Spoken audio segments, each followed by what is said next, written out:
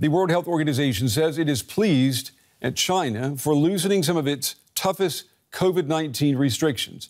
Cities across China are now relaxing their testing and quarantine rules.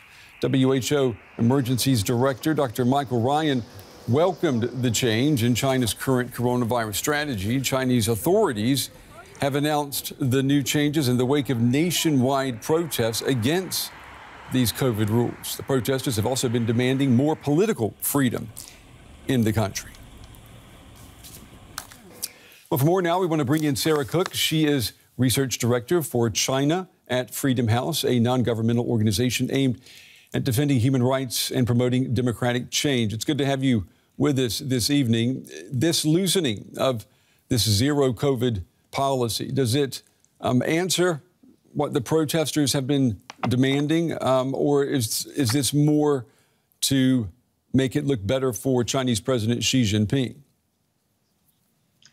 Probably a little bit of both. Um, I think it is a move in a direction that even a week ago, many experts were quite skeptical of, especially when we see it combined with some propaganda narratives, some seemingly moves towards a more aggressive vaccination campaign among the elderly. So it does seem that there is some kind of reevaluation of what the approach should be in the aftermath of the protests. Um, but we are still seeing in at least some regions uh, you know, lockdowns, pretty stringent controls, um, and in some cases, still some some protests happening. Yeah, China relaxed some of its restrictions after nationwide protests that we haven't seen at this intensity in decades. Um, public anger was sparked after a deadly apartment fire in Xinjiang province. Tonight, we're asking is China's COVID policy to blame for that? We've got an investigative report now by DW News. We want to take a look at that, and then we're going to come back and talk about it. The fire started on the evening of the 24th of November in Urumqi, the capital of Xinjiang province. Most of the people living in the building are Uyghurs, a Muslim minority long oppressed by Chinese authorities. That night, 10 people died in the blaze. DW's investigative unit analysed dozens of photos and videos to try to figure out what happened. We also talked to several sources who had had the rare opportunity of hearing from eyewitnesses it's almost impossible to get reliable information from the ground. Just contacting someone who lives abroad is enough to get you thrown into jail.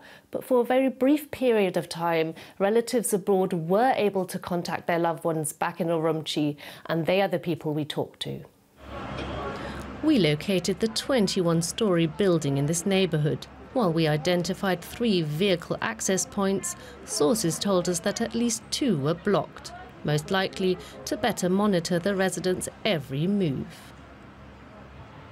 On the night of the fire, those roadblocks prevented emergency vehicles from getting closer to the burning building. Firefighters were reduced to trying to operate from the road. As you can see here, the water barely reached the flames. But was that the only reason why so many people died? Shortly after the fire, these videos flooded social media. They claim to show doors sealed shut by local authorities as part of the country's zero COVID policy. Were the residents locked in the building? It's an allegation that officials refuted at a press conference. No doors were locked with wires in this community. All the doors of all the flats and the front doors were open. The pictures of doors sealed with wires posted on the internet are a malicious forgery and false. But that's not what our sources say. They tell us that their relatives living in the building told them some doors were in fact locked from the outside. We're not identifying them for their own safety. When a person in the house was COVID positive, they would lock the door from the outside. That's why some of the doors in the house were sealed shut. Then, when the fire started, the electricity was cut off.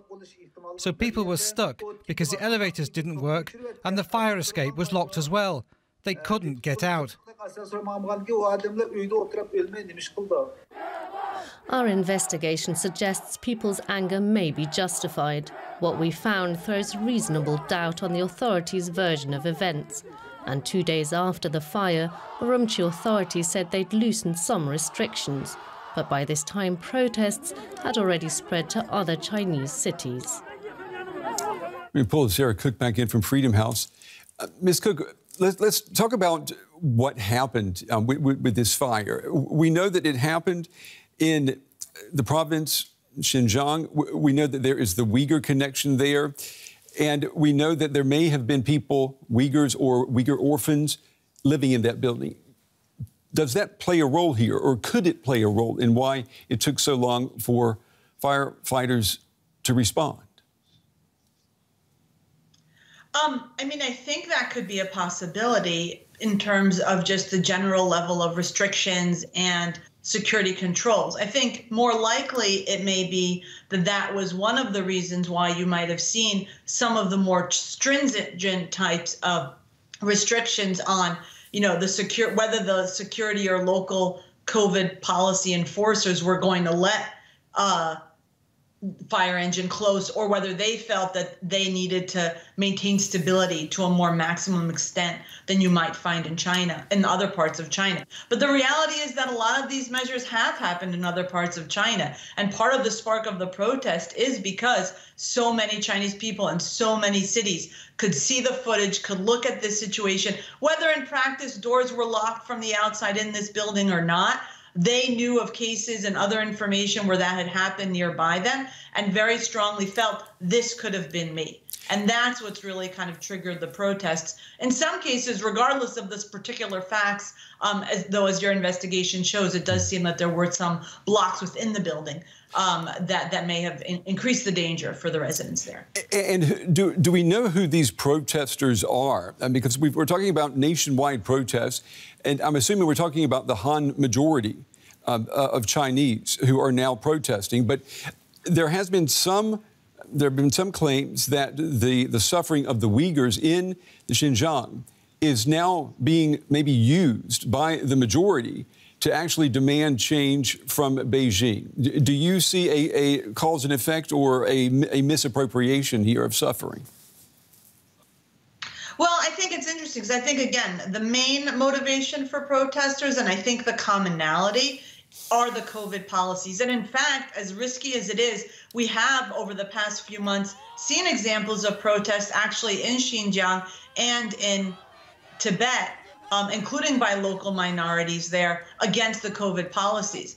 I think what we're seeing in other parts of China is again this sense that, oh my goodness, this could happen to me, and people taking to the streets more vociferously to demand change to the policy. Mm. But I suspect that along the lines, you know, there's maybe a breakthrough in some of the censorship and propaganda that surrounded the other horrific abuses happening in Xinjiang, mm-hmm. and possibly more Han Chinese learning about them because now they're maybe jumping the firewall to access Telegram. They're getting access to more uncensored information because they want to know what's happening in terms of the other protests. And we've seen that in the past where China, there's some trigger that gets people to maybe jump the firewall more, but then they learn about a wider range of of issues. We've certainly seen that happening at Chinese embassies outside China, where you see Han and Uyghur protesters side by side, and some kind of cross education happening there um, as a result of this kind of solidarity on a completely different topic. Sarah Cook with Freedom House. Ms. Cook, it's good to have you on the program. We appreciate your time and your insights tonight. Thank you. My pleasure.